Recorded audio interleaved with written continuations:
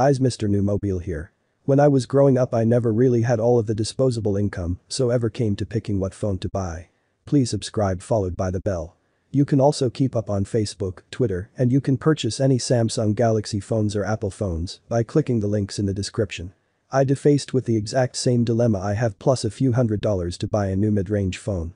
What do I buy an older flagship phone and this question is just as important today. If you had $400. Now you have a choice. You can either buy 2020 phones like the Samsung Galaxy, A71 Xiaomi Mi Note 10 Lite or the Oppo Find X2 the Lite. But if you popped over to eBay, you could also find it for the same price.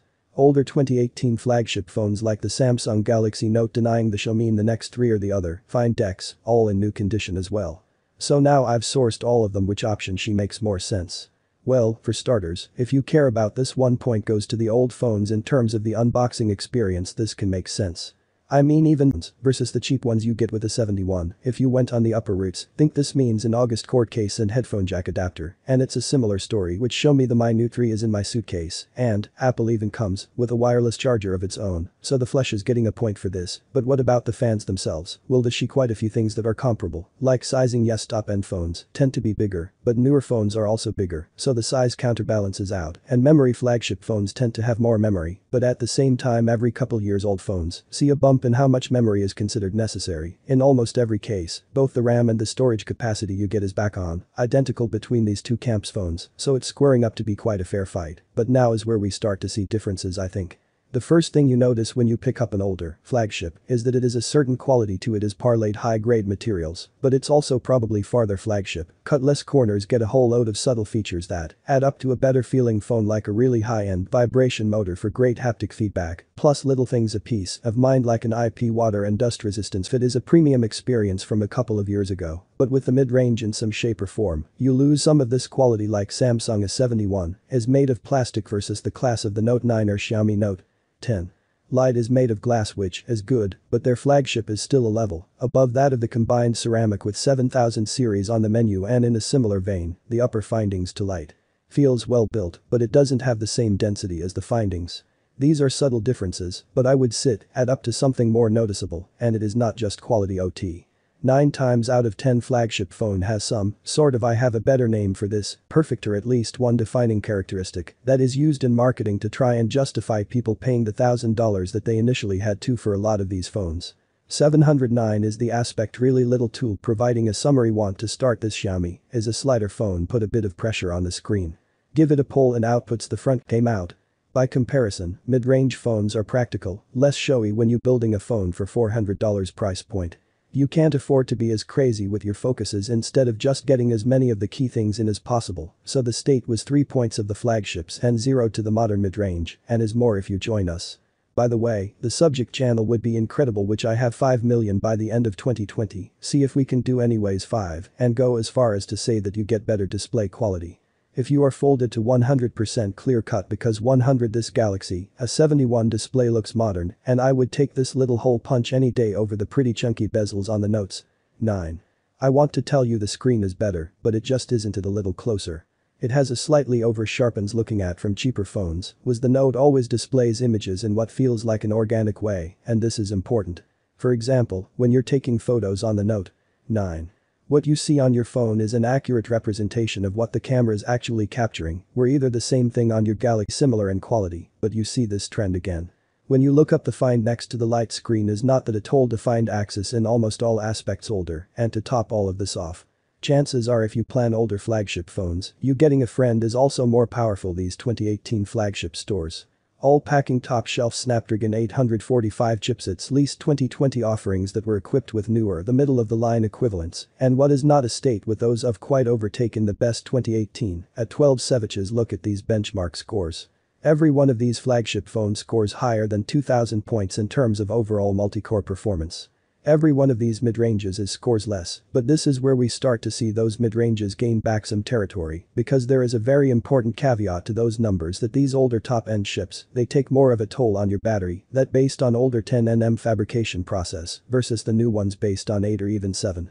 I sometimes like to think that in terms of cause if your final reflection phone you can have a really big bulky but powerful engine under the hood over the newer I would also say that cameras are true to see is that humans are little biased when it comes to looking at the past, well regular, remembering how good something actually was only really remembering how it made us feel so because the Galaxy Note 9 camera was amazing at the time, because it made us feel impressed, Misty would just assume that it's tons better than the current mid-range, because of course, those haven't evoked that same emotional response, but the reality of it is the trade blows pretty much every flagship phone for 2018. Just to cameras and with very low resolution cameras at that 12 or maybe 16 megapixels on the main sensor. Now compare that to the servants which all have no less than 4 cameras and maintenance, that a hell of a lot better resolutions of 64-64 and 48 megapixels and just larger sense areas. These mid-range phones are stacked in the camera department. So what does that mean photos will take the two Samsung phones? The mid-range one comes with a newer, more advanced image processing engine, so I can actually sit with her in a dark room and still capture detail in the bright sky.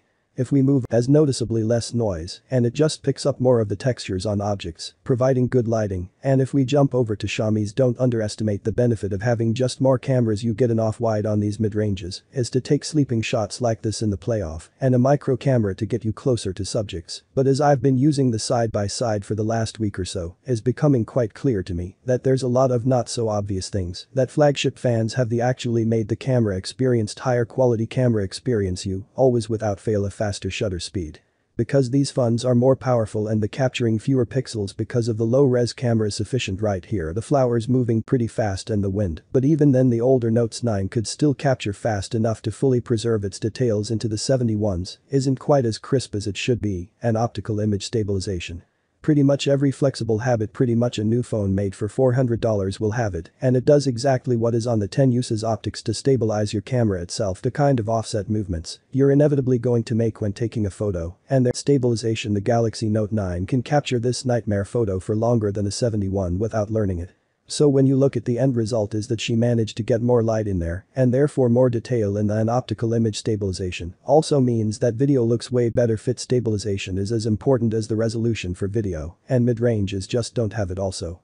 The second camera that you do get on these flagships is almost always a proper 2x zoom camera, was for this mid-range is one of those four cameras is just that sensor.